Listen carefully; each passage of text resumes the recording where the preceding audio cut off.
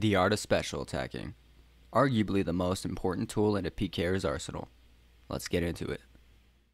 In this video, we'll be going over how, when, and what to use to go for your special attacks.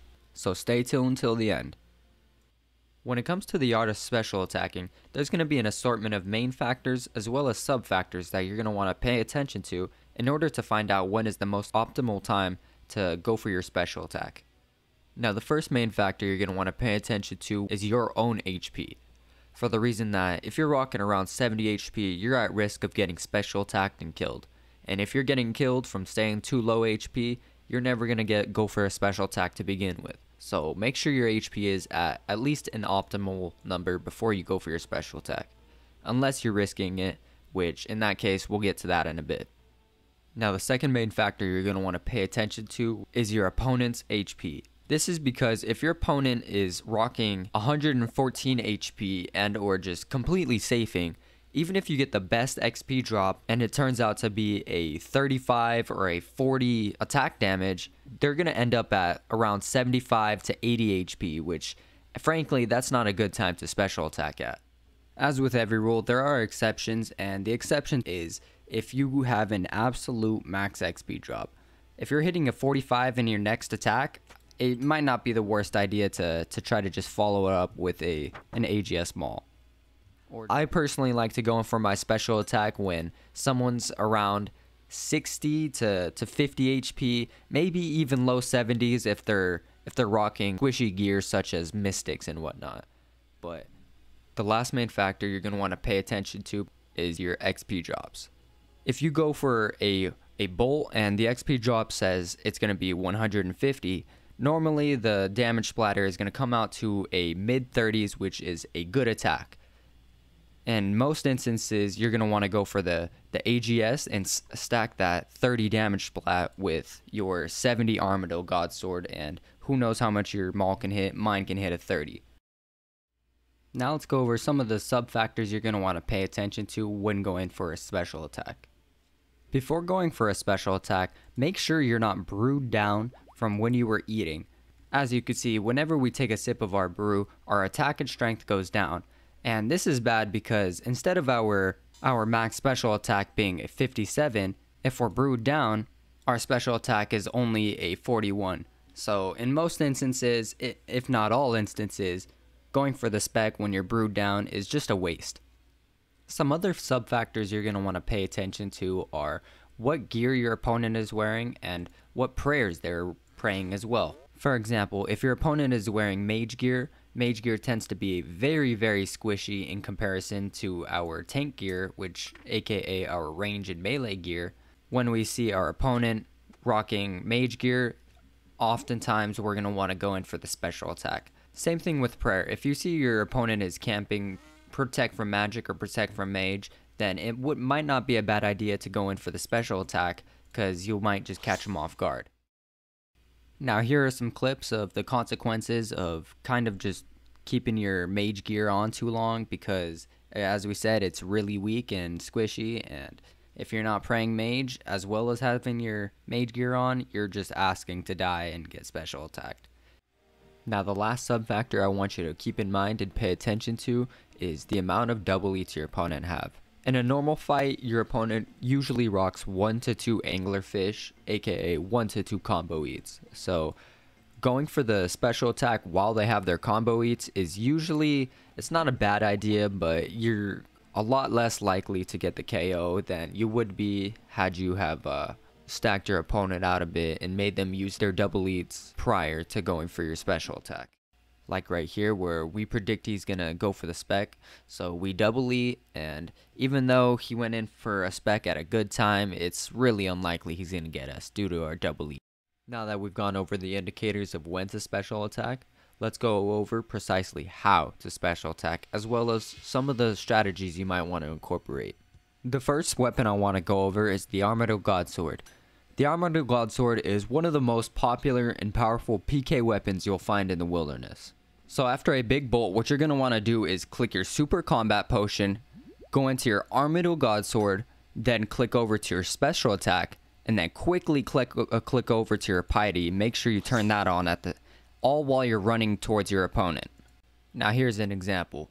Look for the drop, drink your potion, wield your weapon, click your opponent, special attack, piety. If you're fast enough, you can toss on smite too.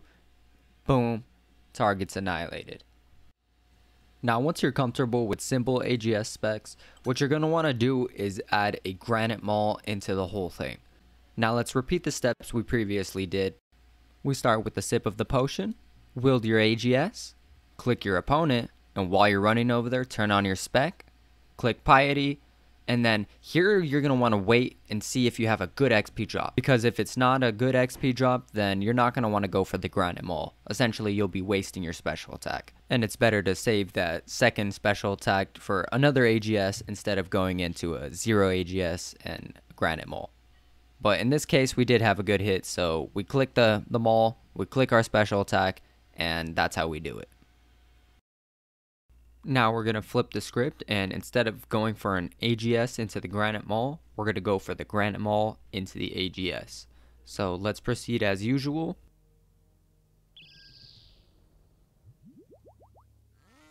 Now the only difference here is with an AGS into the maul, when we click our special attack right here, the Granite Maul goes off automatically. Now with the AGS, this isn't the same we're going to have to click our special attack and then click our opponent one more time as you just saw. If we just click the special attack and leave it as is, the attack won't go off. This next special attack is arguably the fastest and most likely to catch your opponent off guard. And so what we're going to do is we're going to go for a regular smack, whether it be with the AGS or a whip, but not a special attack. And as soon as we see the XP drop, we're going to click our Granite Maul and press our special attack that'll automatically make the Granite Maul swing. And if we want to use the second Granite Maul, which you do, you're going to want to click your special attack once more in rapid succession, making it essentially a double click. Now this is how it should look.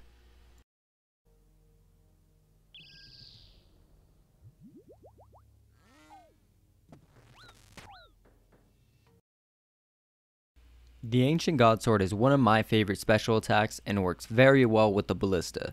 So just as you would with a regular uh, Armadyl God Sword, go in for the special attack, put on your Piety, and you can either choose to go for another special attack, which wouldn't be bad because as you could see, you can still hit pretty high. But uh, after that, you're going to proceed to want to just keep damaging and hoping to stack them out as you had just seen right there. When I'm feeling a little fancy, what I like to do with the Ancient God Sword is proceed as usual, but instead of going for two Ancient God Sword special attacks, I like to switch to the DDS or it might be Dragon Knives, but something fun to, to really stack them out. And if it doesn't stack out at the end, just proceed to keep doing some last tick hits and hopefully you'll you'll catch them off guard. Now, one last thing I wanted to go over with the Ancient God Sword's special attack is not only does it deal 25 damage at a later tick rate, but that 25 damage heals you.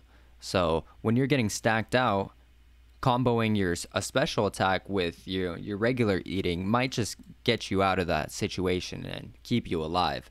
Furthermore, because the Ancient God Sword special attack heals you 25 HP each special attack, throughout the fight that can add up to 75 HP, which is more than a full brew. So when it comes to outlasting someone with an ancient god sword, good luck. Now to round everything out, I want to go over a couple strategies to use while special attacking.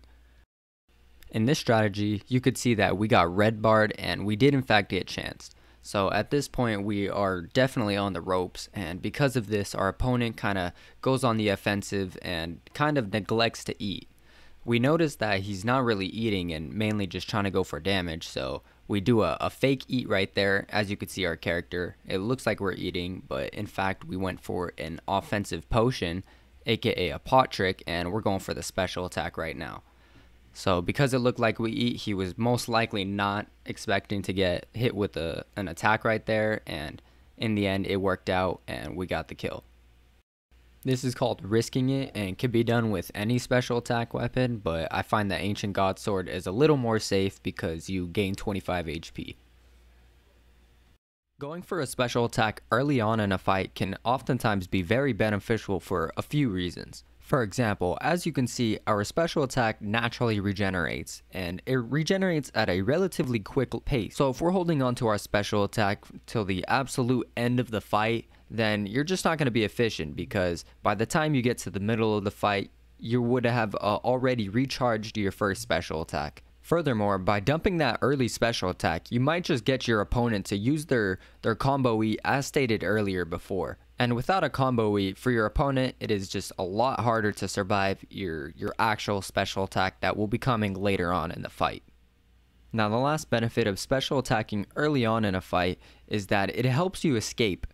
Now, if you go for a special attack with only 3 to 4 brews left, you might just start panicking and looking for the KO any longer will just ensure that you stay too long and get yourself killed.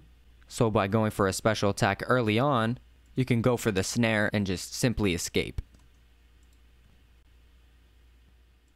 So now you know when and how to special attack. But do you know all the main tactics for PKing? Check out this video here.